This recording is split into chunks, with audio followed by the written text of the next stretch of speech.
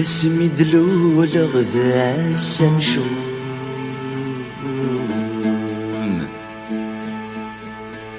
ذق فوسي شمس اغلى الموم لكن ورثيتي خير مرامان لو كانوا لي وذاك الطوم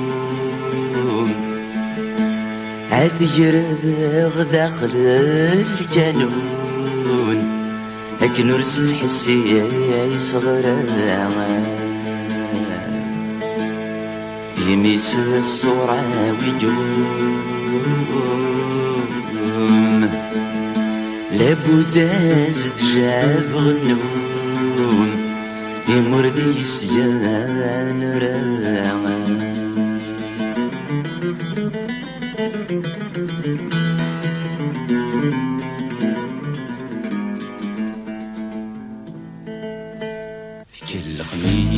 تمزيو خلص غونين وردو غاو كسمي مولانيو المحامينا كل سرماو.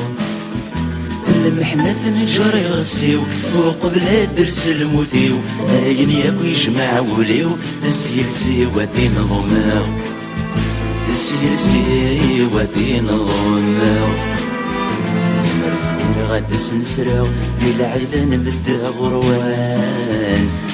الناس غاكون غفراو هاينا ولانا عزيزان في ثلاثة راه نبداو خاص تمشيك مروماو ماشي ذو مسي روحاو عاد مليل نتوان نون عاد مليل سوق نودي يتعقل دمي ما ديرول في الليل فهم الطوثي والحلال ويسن كان من ثم كثير هذا سنسخر بغل شغال هذا سن يعرق ووال. فاقر من ميعقل تدر تدعجل غوري. تدر تدعجل غوري. هيا جيك ذا سيرم تركيثي والظلرام دليز ما يسم يفكي الحرز دلوفاو تبرث الحبس ذي الزم ثلثنا ورقتي وتوشم دورة السدنيا تصجم طول عماري تمر كان طول عماري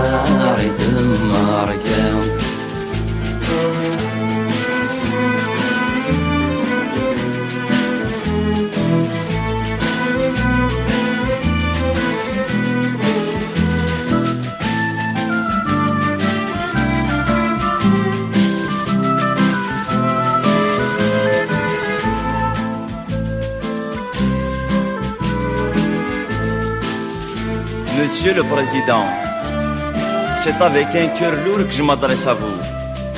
Ces quelques phrases d'un condamné étancheront peut-être la soif de certains individus opprimés.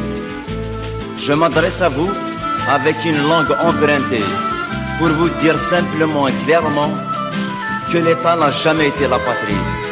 D'après Bakounine, c'est l'abstraction métaphysique, mystique, juridique, politique de la patrie. Les masses populaires de tous les pays aiment profondément leur patrie. Mais c'est un amour réel, naturel, pas une idée infaite. Et c'est pour cela que je me sens franchement le patriote de toutes les patries opprimées.